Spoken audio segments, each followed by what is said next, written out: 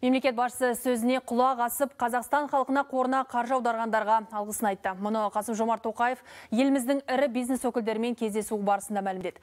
Айтуынша, қорға қаржы аудару дер кезінде іске асып жатқан игі шара.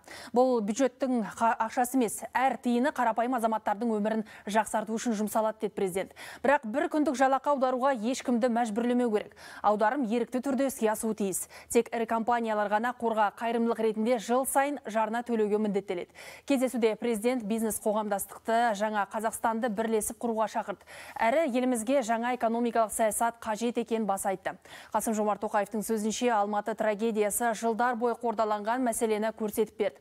Қазір бай мен кедей арасы тым алшақтап кеткен. Халықтың, халықтың табысы мен тұрмыс сапасын арттыру үшін нақты жұмыс істейтін реформа қажет деді мемлекет басшысы.